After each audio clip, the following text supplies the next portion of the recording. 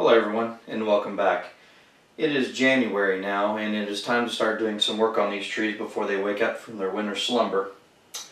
This here of course is the Sharps Pygmy.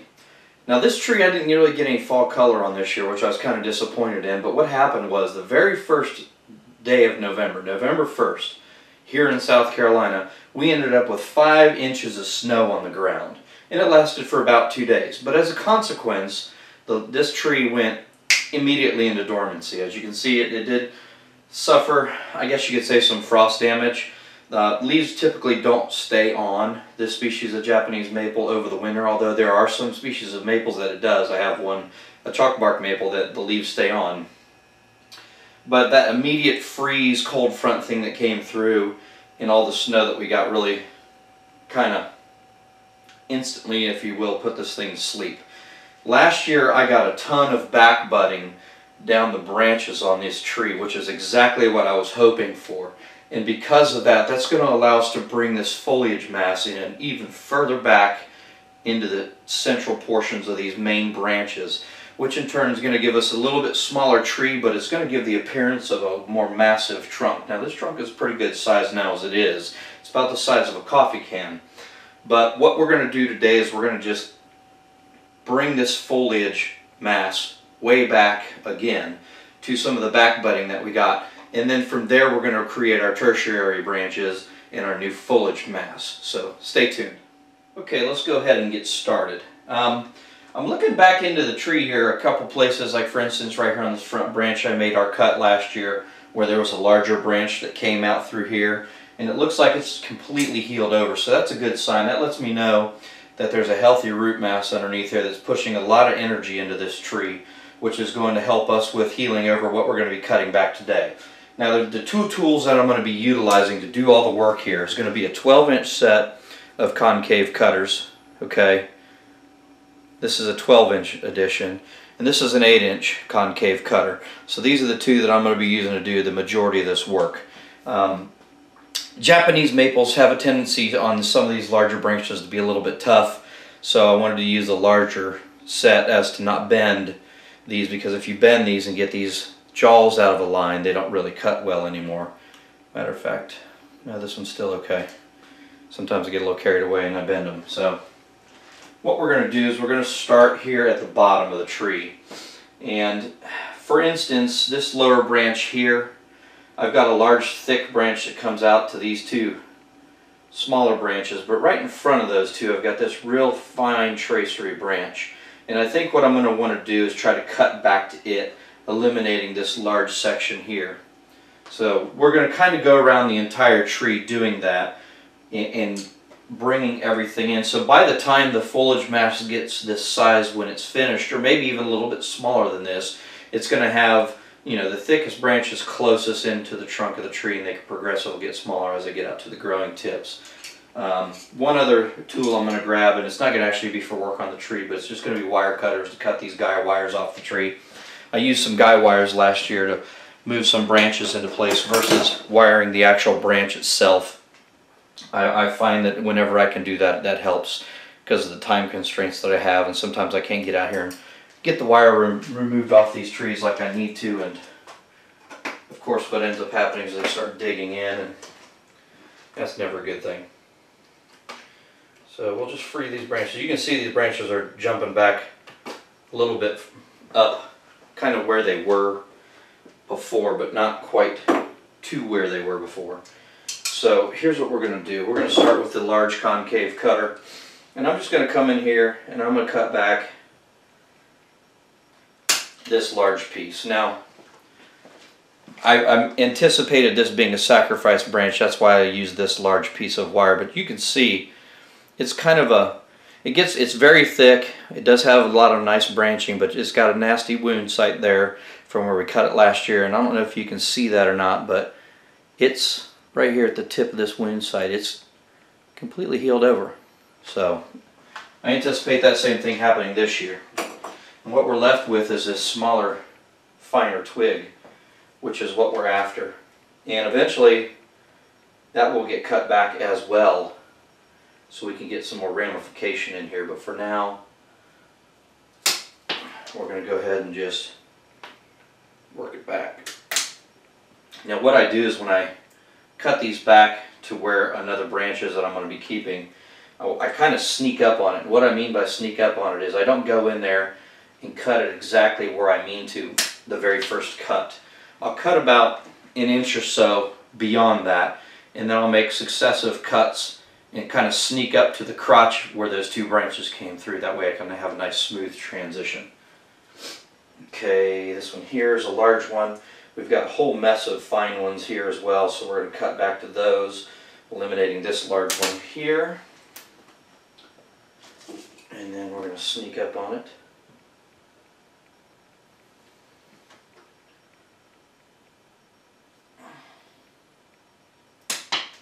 Perfect. The rest of these are pretty fine, so I'm going to leave that one alone. But that that's that branch done for this year. We've got some back budding at a cut site here before, which is awesome. Now some of this tracery here, we're going to cut back this stuff as well to bring it in a little bit tighter. And as a consequence, it's going to push new branching and new tertiary branching here as well. Um, this back branch here has always bothered me. It's it's long, straight, and very thick for where it is on the tree. now I've got a few few areas back here that have some back branching on them. It's not quite to where I want it to be in order to remove the whole thing, but I can now reduce it back to here. So that's what we're going to do. We're going to eliminate this big large portion and focus on these this tracery of twigs back in here. I, I still want to cut it back even further, maybe another four to six inches back in from where this is even. Um, and I've got some back budding back here so I can do it, just I don't want to do it this year. I want to let this back budding of branches that's in here now get a little bit stronger because now they're going to have a lot more light because this isn't going to be blocking it. And then that way I can cut back to it the following year. But anything that I have out here that I've got a large branch, like for instance this one here, I can go ahead and just eliminate that and then sneak up in here and make my transition cut. That's one. I've got one more just to kind of tighten up in here and this to this area.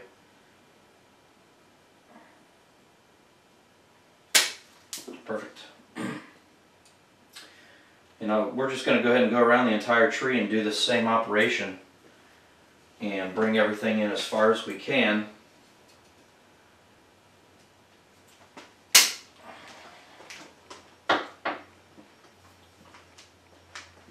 And wherever we can, we're just going to leave smaller branches in their place.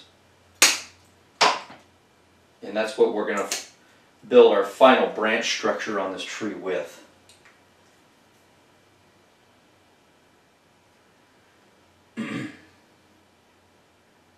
this is something you just take your time doing. You don't have to do it all, even in a day per se. Um, it did rain today, so this tree is pushing some sap. Not too much worried about it bleeding out or anything like that. I just, I, I was looking at the bud tips and I noticed that they are just starting to swell. And when you notice the bud tips just starting to swell, that's when you want to go ahead and get this work done. Because after they start swelling is when they start coming out. So we're going to go ahead and continue doing this operation to this tree and once we get the large branches eliminated, then we'll revisit the tree and then I'll show you what I'm going to be doing to bring the foliage mass in even further with cutting the tertiary branches. And maybe we'll do a close-up of that at that point in time.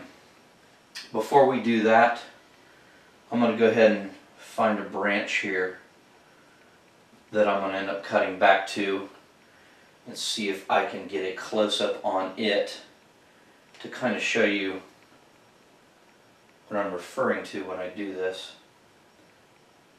Man, that's a lot to take out of there, but I think it's going to be a lot better if I do that. Okay, let's do this one here. Pretty drastic cut. It's going to take place, but I think it's going to be better for it. Alright, if you look at this main branch right here, okay, it's very thick all the way up. I've got this lower branch here and this branch here. And then it's just a straight shot up and then some more branching and it just kind of gets congested once it gets up to this point. I've got quite a bit of back branching below that spot in this area here.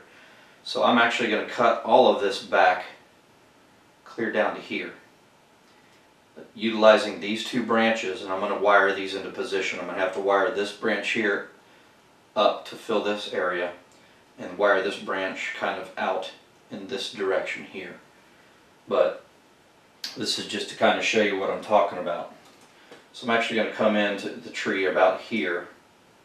And this branch is a little large to be trying to make a all at once cut. So I'm going to go halfway through it. come back in again. Go halfway through it again.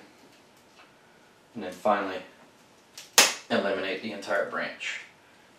Now, I forgot to, it was wired to another branch that I was trying to get into position, so we've eliminated this huge, thick, oops, sorry. Now we've removed this huge, thick, congested part of this tree. Now, it's going to look very bare at the beginning of the season, but by the end of the season, it's all going to fill back in. But I wanted to get rid of all that in turn keeping these. This one here and this one here. So what I'm going to do next, now that I've got the main branch off, I guess what I can refer to as sneaking up on it, I'm going to come back in here a little bit closer and I'm going to cut again.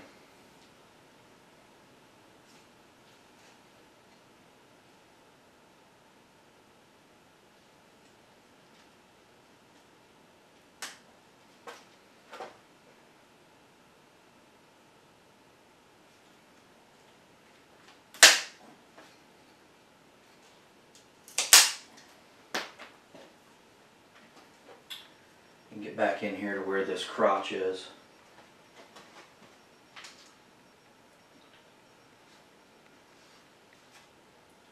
Make a nice smooth transition so when it heals over it won't look unsightly. It'll look more natural. It'll be a natural transition once that heals over. It won't be a nice it won't be an ugly bulge, it'll be a nice smooth transition.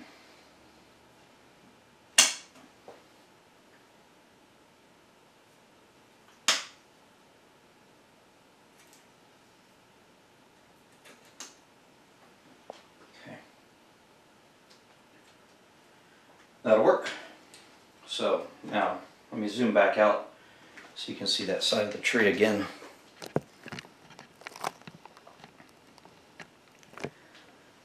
Looks kind of bare now because there's nothing filling this void. But when I take this branch here and bring it up, I have a smaller branch here. I can move this branch over. Eventually this large hole that you're seeing here will be filled with branches. I've got another small branch back here that will grow up into this area as well and it's going to ramify while it grows because we're going to keep cutting it back and letting it split into more and more branches. So we're going to continue going around the whole tree, doing this technique to the tree, and then we'll come back and revisit it after we have that done. Stay with us. Okay, this is all the large branches that I feel comfortable with removing this growing season. Um, I've still got this large one here that I'm not real happy about. I'd like to see it reduced, maybe a little bit smaller. It's now the largest branch, the highest up on the tree. It's it's got a lot of back budding, so I'm going to let that kind of grow this year, hopefully unchecked. And, and hopefully it'll fill in the voids that I need to where I can cut it back as well. Let me do a quick 360 of the tree here for you so you can see what we've done. Um, there was a really large branch here in the center that came straight up. It had to go as well. I mean, large, large branch. It was this branch right here. I mean, it's about the size of my thumb and it's at the very top of the tree which isn't conducive, in my opinion, to where this tree needs to be. So you can see where we've eliminated quite a few of these larger branches, which has left a large void here at the top and a large void here at the side. and how we're going to fix that, and I want to, this, this branch here and this branch here are the two that are still kind of bothering me. This here is large as well, but I've been able to cut it back and it's branched out into two to three now. Um, smaller branches, so it's, it's still okay. That's actually the main leader of the tree. So I would expect that part of it to be fairly thick as it goes up to the bottom end of the tree because it's going to be constantly branching out and getting smaller as well. so back to this open space right here.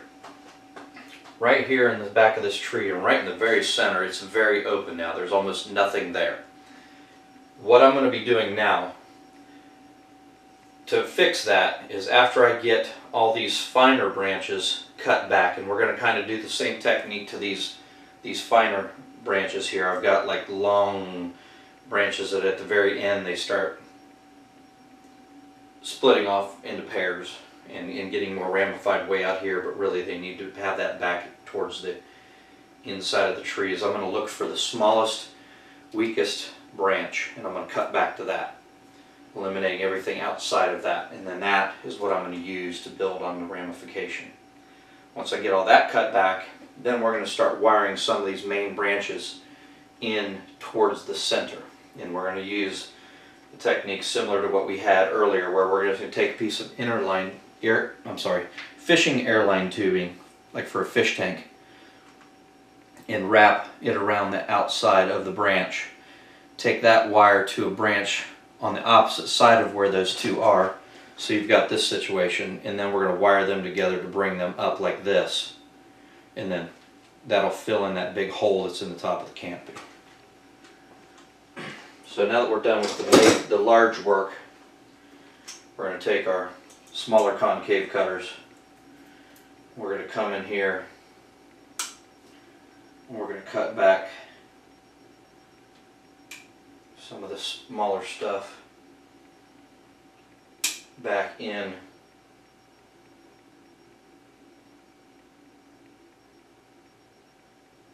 to kind of bring everything back in and compact it even more. And I always start at the bottom of the tree and work my way up from there.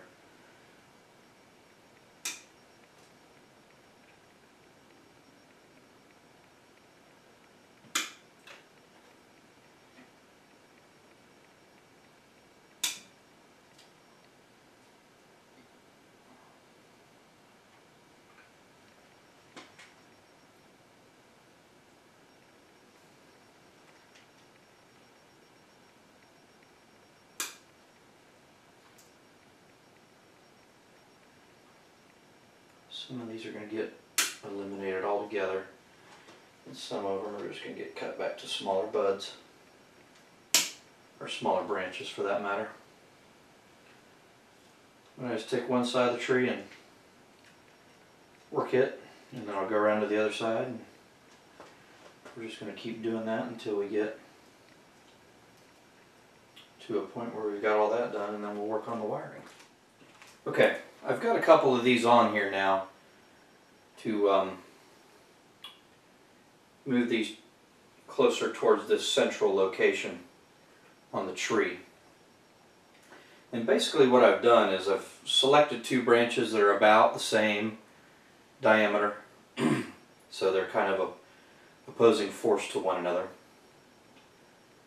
And I've wrapped the airline tubing around them or you can also, if you just want to move one branch and not both branches, you can select the branch that you want to bend and then see if you can find a little bit thicker one on the other side. So the, uh, the thicker side obviously isn't going to move as much as the smaller side, or the thinner side, whichever you prefer. so I'm going to take this wire and wrap it around the tree loosely. I don't want it to be real tight because I don't want it to dig in and cause a scar. And what I'm going to do is take this opposite side here And again, put a piece of the airline tubing because again, I don't want to scar anything. Just weave it through the branching. Get it around the tree.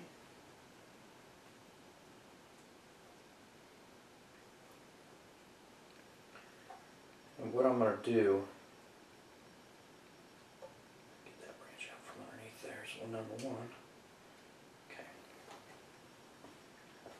So I'm going to lift up the side that I want to move.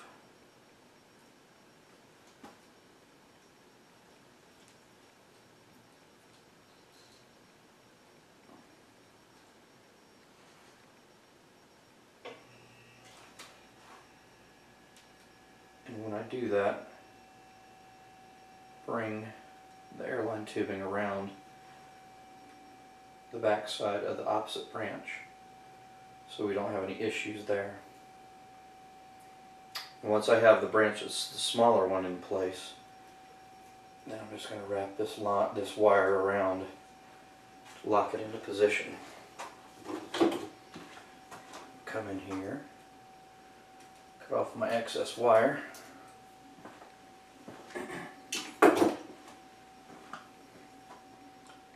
Then do a wraps just to secure it in position. Now both outside edges where the pressure is has that airline tubing which is going to help keep from the wire cutting in because we're not going to leave it on a real real long time but it does need to be left on there long enough to keep these branches let these branches set themselves in position and now we've got a lot of these branches up in a position where it was filling that large void from where we eliminated those larger branches. Now what I can also do is bring these other branches and move these other branches around into the positions that they need to be in on the tree. using that very same similar technique or using a little bit different technique depending on what I need to do. Um, like this back, this branch back here, for instance, this branch right here needs to be moved up into this position from where it is clear down here. It needs to, it needs to come up and over to here. And in order to do that, I'm going to tie it to just the piece of wire here. I'm going to bring it down and loop it around the outside of this branch. So then this branch will be sitting in this position here now, which is going to help fill in this negative space that we have here. I'm going to do something very similar with this branch here as well. It's going to be coming up to right here because I've got one directly below it that's doing the outer silhouette. So this is going to be coming up here like this. So we'll go ahead and get those finished up and then we'll come back. I'm going to do a little bit more trimming to bring this stuff kind of in a little bit tighter than it is now as well. But once I get finished, hopefully you'll see the smaller foliage mass that I have now makes the appearance that the trunk is a lot larger. So stick with us and we'll get back in a few moments. All right, here we have the tree after we've done the pruning technique as well as the wiring technique to get this tree a little bit more compact. In my opinion, I believe that it makes the tree trunk look thicker, makes the tree look more dynamic, makes the tree look a little more, I guess you could say, ancient because it's more in, I guess, an aspect ratio that's realistic for the size of the tree. So I'll do a quick 360 here. We're going to get this one back out on the bench. Do what we always do, feed it, water it, give it plenty of sunshine, and it should respond very well. The uh, tree is bleeding, so you'll see a little bit of the wound sealer that I've put on there kind of leaking off. What I'm going to have to do is eventually, either later on today or tomorrow, it will have stopped the bleeding process. It will have compartmentalized the wounds that are on the tree. Um, at that point in time, I'm going to come back out and do another round of the wound sealant. I wanted to get some on there now just to help cover that area. and then, like I said before, we'll come back and do another application of the wound sealant. This is where I see the front of the tree still. It's showing the widest base, basal flare, the best looking nebari, and all the branches are in proper position. I see this branch potentially needing to get moved over a little bit, but I have this smaller growing branch here that so when I eliminate this larger portion, I'll be able to rebuild with these smaller ones behind it. There's a couple fine twigs that I need to do a little tweaking on before I put it back out there, but this is the gist of what I wanted to do this year as far as styling is concerned. Thank you for watching.